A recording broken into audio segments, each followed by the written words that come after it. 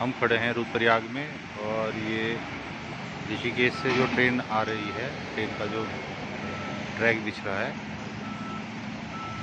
वो इसी जगह पर आ रहा है। ये रुद्रप्रयाग की जगह है।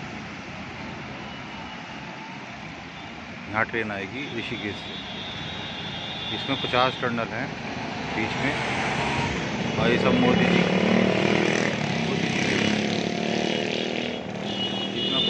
काम चल है